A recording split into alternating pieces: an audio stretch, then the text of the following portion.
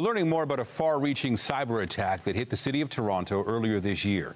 It turns out some 35,000 people's information may have been compromised. CTV's John Woodward is live with more. And John, unlike other organizations targeted by online criminals, the city may have gotten lucky.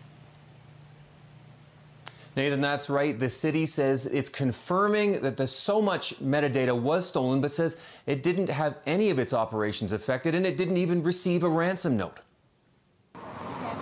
The Toronto agency that manages civic theatres may have been hit. Same with the Toronto Police, Toronto Hydro, and the Mayor's office. Among more than 30 city divisions at risk in a cyber attack in early 2021, according to a report obtained by CTV News through a Freedom of Information request. The attackers did steal some of that metadata, which is data about data, um, and they went back in and they purged the logs.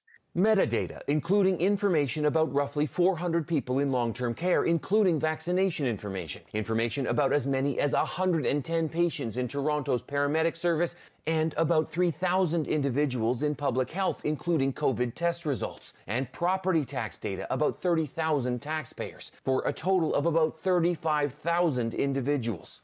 The city pointing to an Eastern European group named Clop that took advantage of a weakness in a file system called Accellion and saying in the report it can be assessed with high confidence that the compromised data contained within the leaked city of Toronto's Accellion database may soon be revealed on the attacker managed public forum. That's what happened in Durham region with information about the health and schooling of tens of thousands of people posted, as well as a video of an arrest of a man on a Durham bus. But in Toronto, nothing seems to have been posted. It looks like they failed. Um, the silence is somewhat deafening. Perhaps because the metadata that was stolen wasn't as sensitive as the records themselves, or because the group had so many other targets. The city has denied paying a ransom or even getting a ransom request, though many others have paid up. More than 4,000 companies have now had their data stolen and released online by ransomware gangs.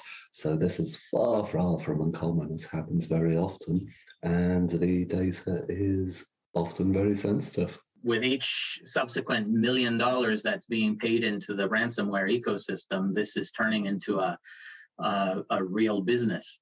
And we're looking again at billions of dollars in 2022.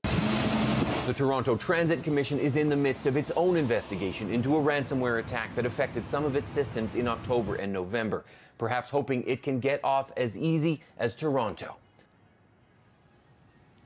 The city says it no longer uses the program that was hacked. Ontario's Information and Privacy Commissioner continues to investigate, pointing out that ransomware attacks have gone up by 151% last year. And last year, Toronto was just one of 39 public agencies to be attacked. Reporting live, I'm John Woodward. Nathan, back to you.